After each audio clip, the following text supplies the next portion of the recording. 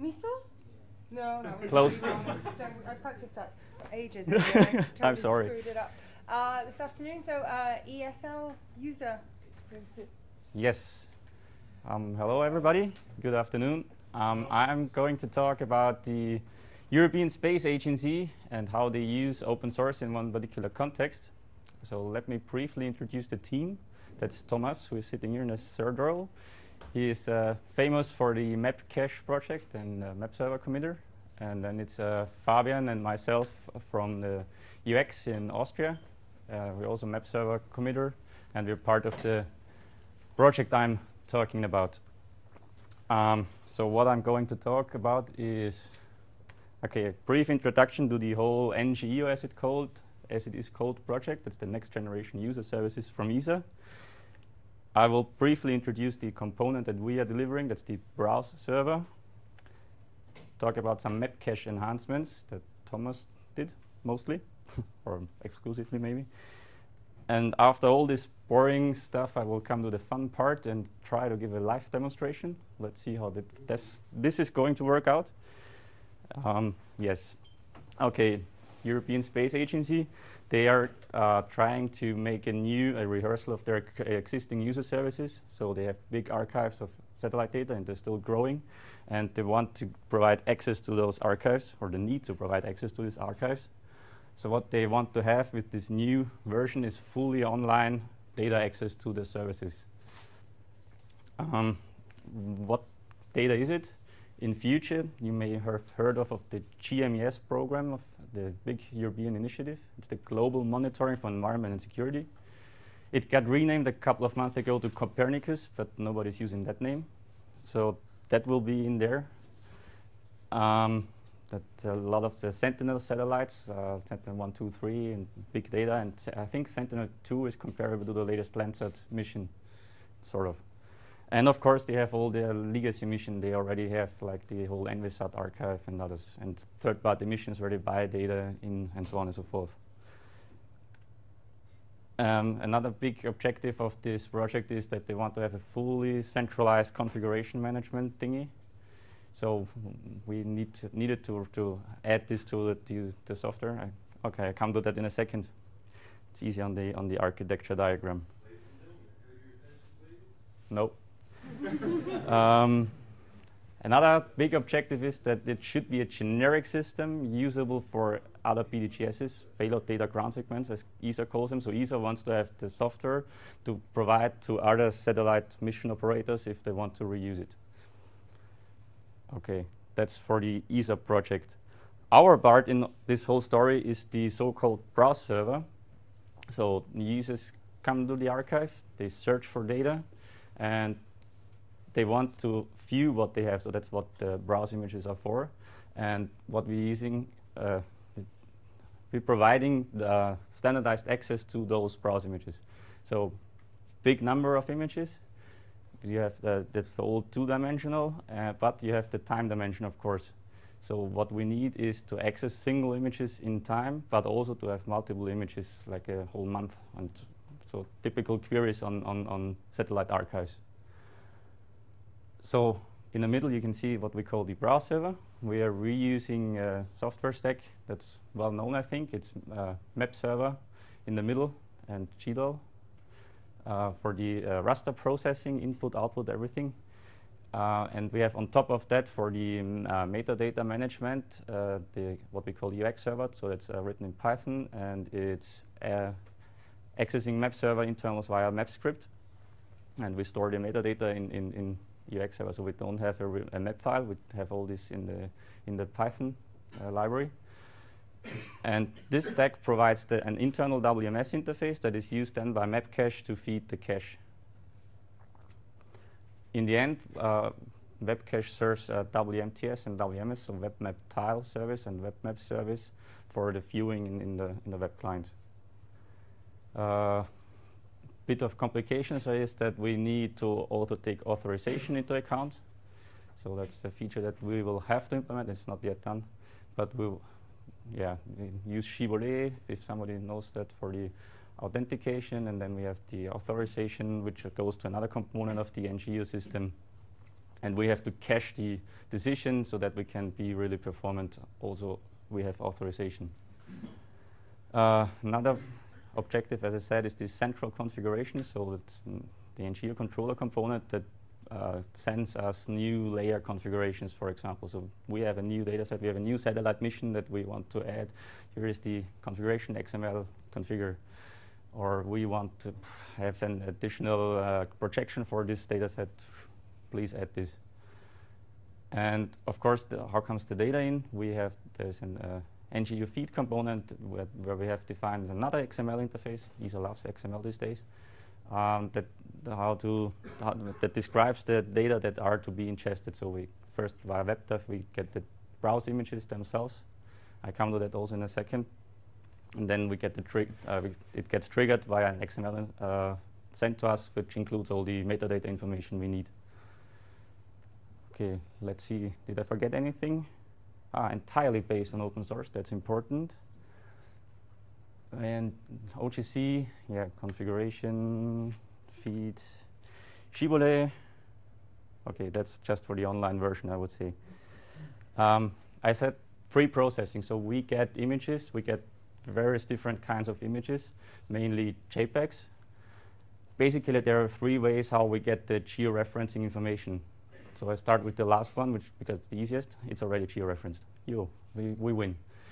The, the other part is we get a regular grid of tie points. Okay, that's encoded in XML. Imagine how it looks a bit ugly, but okay, it works. And then the, the most common way we get the images are with is with a footprint. So we have an XML structure. It says the first pixel is this position on Earth, and then it goes round, and we have to pre-process that image. So what are we doing in the pre-processing step is several optimizations. First of all, we need to know the footprint in geographic coordinates as a polygon. Then we reproject the, the image already in the projection that we need to serve in the end in order to be performant. We add, of course, an alpha channel because usually the reprojection means we have these uh, black triangles. I guess everybody has seen those. And we add internal uh, optimizations like tiling and overviews and store geotiffs in the end. We also add compression because the, the limiting factor here is the storage space. Because we seed everything in the cache, we don't have the big problem on, the caching that we need to be performing on the WMS interface. okay, now coming to what, what was added to, to Mapcache. First of all, as I already said, it's the time dimension support. So as I said, we have archives of lots of uh, satellite images, and we want to be able to access each single image, but also intervals, time intervals of images that are merged then together. So what we have here in the Mapcache configuration, I assume you're all familiar to some extent with Mapcache. you can add a time dimension, and you say you have a SQLite file, and in this SQLite file, I store all the time start and end dates for which I have an image. And then you provide the query, how to access this. So in this case, BRP, that's just the formatting for the time. So you select from the time. Then you get some parameters like which time set we are in and the, the current time. So here, that's what we get from, from Mapcache as parameter for the query. In addition, we have the, the bounding box of the current tile that is requested, so that we use that as well. And then for performance reasons or for that it ends eventually, we have also a limit that we, in this case, we only want to merge 100 tiles. So in the end, what this query does, we get a, a, a WMTS request that says, give me everything for this particular day. Then we have start time at midnight and uh, end time at midnight again for this day. And we get for the tile the, the bounding box. We, from this query, we get back all the time entries that we have. But okay, of course, the, only the last 100 ones. And then Mapcache goes into the tile cache and merges all these tiles and serves it as one back to the client. I see questions, I guess. Oh. Any questions directly to this? No? Okay. Um, Okay. make sure that your time values in that SQLite data set directly match what you've ingested into the cache. Yes. It's not a direct relationship. Yes, So as you- exactly. As you put new stuff into the cache, it's not automatically going into that SQLite No, data set. that SQLite file has to be maintained uh, externally. Yeah, Okay. exactly. But I would put it the other way around. You have first the SQLite file, and then you then you see everything in the cache. Because in the cache, you can then of course use other functionality, and this is, for example, very important for us the read-only functionality. Because you can imagine we have only each satellite take is only a small portion on the Earth, and we don't want to see the whole world. But still, the layer itself needs to serve the whole world. So that's why we use a bounding box in the seeding request. And with the read-only uh, setting, we make sure that for all tasks that are not in the cache, it's assumed that they are empty, and empty images are returned. So we have a fully pre-seeded cache. Given the, the possibility that we include in the query the bounding box, we could also don't necessarily need to make it uh, completely pre-seeded because it would always, for the seeding step, go first to the query. But in the beginning, we didn't have this. Um, by the way, that's ev- all these functionalities available in the version that was released four days ago, five days ago. Um, another interesting feature is this configure max cache zoom. So for uh, images, for example, you, you they have a certain resolution, and you, it, it, it makes no sense to go beyond that resolution in, in seeding the cache or caching this, this data. So what we do is like uh, zoom level 10, what is it here, 8, is configured as the highest zoom level that is actually cached. And afterwards, so like zoom level 9, 10, and so on, it's uh, computed from zoom lev level 8. So you don't uh, need, you, there's no new information anyway. Oops. Um, another interesting optimization is because we're using SQLite caches. And uh, in SQLite caches, uh, Thomas did a very nice trick. For single for single color images, he's actually storing just one, no, it's nine bytes, but just the one value of that color. And then on the fly, it's automatically uh, expanded to a one color PNG image. That's very nice when you want to save on disk space. Okay, let's go to the fun part. Please turn off your con internet connections.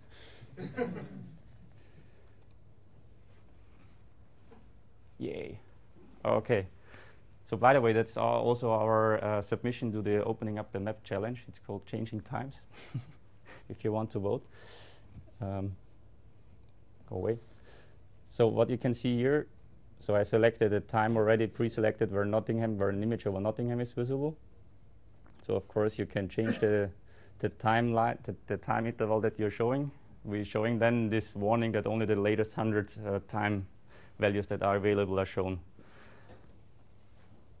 But as you can see, that's all live. That's really done on the server. It's merging all the tiles into one and sending to up to 100. Okay. So you can scroll through the story and telling some some some story. You can read through it later if you want. Okay, now, yeah, change the time.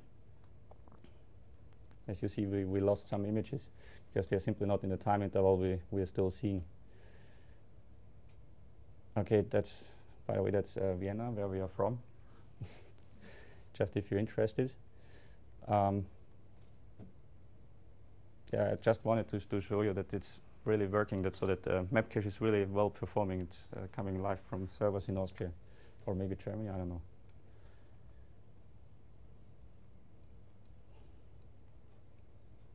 Okay. Um, another thing, interesting thing is what we what what you're seeing here. Uh, maybe I should give you those numbers. That's a, a data set from from ESA. It's uh, around 18,000 images. Um, th- the cache is around 10 gigabyte, the SQLite cache. So this is an, an overview of the whole data set. So it's uh, seeded as, as one layer covering all 18,000 images. So this is not now uh, done on the, the merging is not done on the fly, that's preceded. but if we switch back to the, that's done now, live. Oops. Okay. So you see.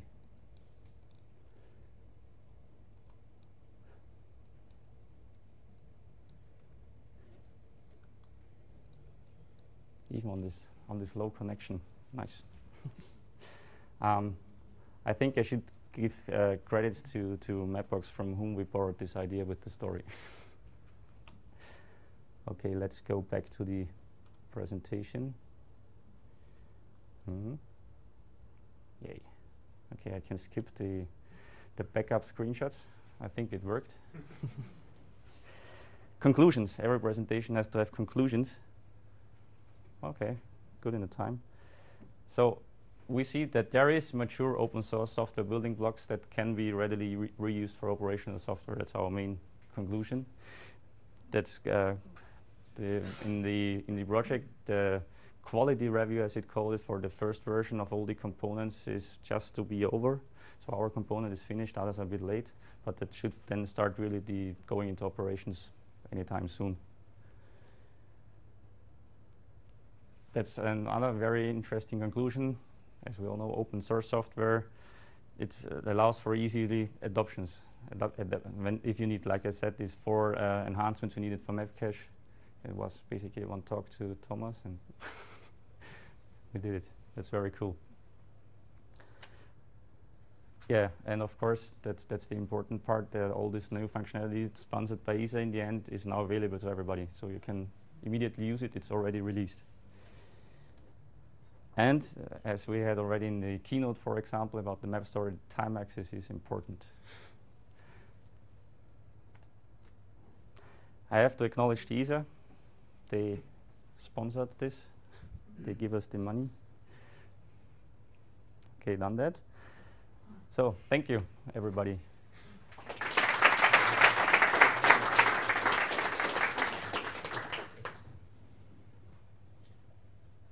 Any questions? There Yeah. go. I was going to say anything because it's such a comprehensive presentation. Could you talk a little bit about uh, scalability and how, like, is the intention that this will be handled millions of scenes and is That's the this is all idea, yes. Network file system or how's uh, Uh, so yeah, that's definitely the requirement. That I mean, the Sentinel missions they will acquire millions of scenes, and they want to handle it with that system. So can you talk at all about how that's going to be accomplished or is accomplished? Or we will see. So at the moment, what we what we done uh, is this 18,000 images cache, and we didn't have any big big problem. I must say as well that we that the seeding step is uh, that's the the slowest part of it. Um, then there is also the issue that we sometimes we have to have uh, distinct time intervals in the cache so that they are not allowed to overlap. So if we get overlapping time intervals, we merge them to one. And of course, then we have to unseed what we had already at, at least at in the overlapping parts in the cache. And this is particularly slow because we're using a SQLite cache. So the unseeding is the, the really slow part. But we, so we think in the next evolution of the system, we will make the seeding completely asynchronous. At the moment, we do it right after each ingest we seed. We will make it asynchronous, so then we can wait for several images and do only one seeding step if we need to merge some of them. Do you, do you necessarily know when the last image comes in and you need to start seeding? I- mean, do you seed as each image comes in, or do you seed once all the images? No, as I said, we seed after, so that the, the process is that for each image that we receive, that the ingestion is triggered, we run through the whole pre-processing and the seeding. And we, as I said, in the next evolution, we want to switch this, that we just run through the pre-processing, that we have the internal WMS interface, and then we see it only, I don't know, once an hour or whatever. And you configure. how, how big do you expect each, um, each cache to be? Huh. Tha- Good question, actually. I don't know. I, I, I, I mean, there is this there's this limit with the uh, around one terabyte at the moment. Yeah. I think we Although we will going we are going to eat it. DB doesn't have those limits, Okay. and it was kind of a seamless change between SQLite and Berkeley DB. Ah, that's good to know. and, uh, and but I guess for now for the time axis we that won't work at the moment. Well, it's a SQLite interface. Is so it? Ah, okay. We need to talk. So um, I have a quick question. yes. I mean, is it possible to um, identify the source of each uh, im- uh, imagery with the tool you just shown us? What do you mean by I mean, source? for example, is it possible to know whether the image is coming from RapidEye or or GeoEye or ah, okay. or So what, what I've what I've been showing you in the live demonstration is just a simple open layers uh, interface. That's not not the interface that is of the of the NGEO project of the user user services, because we are doing just the browse server. So the, the actual interface of the ESA user services will be a different client, also based on, on open layers, of course. But uh, there you will have to log in for certain data sets, and there you will definitely see which data sets, so which uh, satellite missions you're searching. And so the results are exactly for those missions that you're searching. And there is even a possibility that you that you so you, you- you're searching also against the catalog, and you can highlight the single scenes, and they get highlighted also in the map. And that's why we need why we had this uh, important requirement that we need to be able to access single images on the WMTS interface. Are, are all these submissions going to be available? Are all the submissions going to be available through the Mapcache, or is it just some missions? No, they, those images are all in, in, in Mapcache. You in, in, in fact, you have 18,000 separate pyramids, but just with the lo lots of blanks because we're just hitting the, the bounding box of the of the images. It's But in the- really clear though what imagery is actually in the cache. Is it? Um, I don't know. Like, So f t- for each scene, you have the complete pyramid from zoom level zero to whatever zoom level you have configured, like eight was in the example, but only in the, in the area where you have actually actually have data. Referring to ESA missions. yeah. It'll be everything that ESA does. Oh yeah, oh yeah, in the operations. Okay, yeah. We are not. We are in. Uh, we are implementing the generic system. We are. We are not responsible for the operations in the end. When So we hand this over. or- Yep. Okay, you've got two questions at the back. Do you want to move over? Uh, just a question, could you describe what the EOX server is doing precisely? Ah, okay. yes, sure.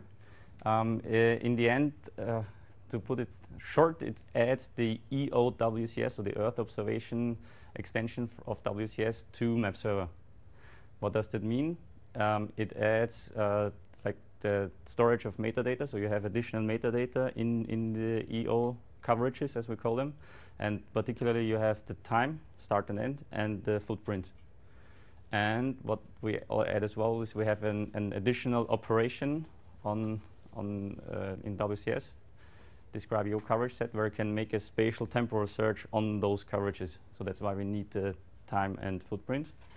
And then we have uh, two data types how to group coverages. One is dataset series. That's what we use here. That's for uh, inhomogeneous grouping. But you still you have one layer or one coverage you can query, one dataset series you can query to, to retrieve all these sub uh, sub coverages.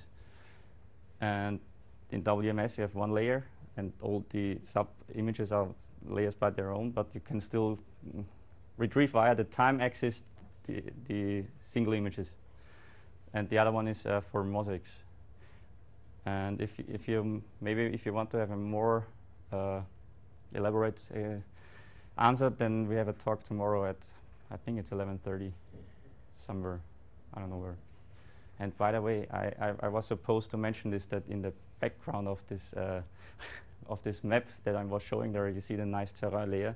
That's the submission of Jochen to the opening up the maps challenge. I had simply reused it. okay. Hi, Stefan. The, you, you talk about the satellite scenes.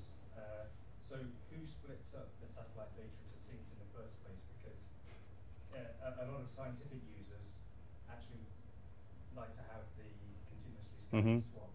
Yes. So when you talk about all these submissions, are you assuming that it's that somebody is splitting up the swath into scenes for you before you get the data? That's that's yeah. I mean, I, I know, for example, that for Sentinel-2 they are defining so a 100 by 100 kilometers grid, and they split it up. But they already uh, talked to us that they want to have a feature in the software that we are then again merge it in the browsers. anyway, that's that's ESA policies. Are what so we have de- uh, well-defined or mm, most of the time well-defined interfaces that we are simply implementing. Of course, we are discussing and asking, "Oh, why want you do that it that way? That would let's make us a little different. Can't we discuss? But yeah, big big agencies they have interfaces defined and they want to use them. Thank you, Stephen, again. Thank you.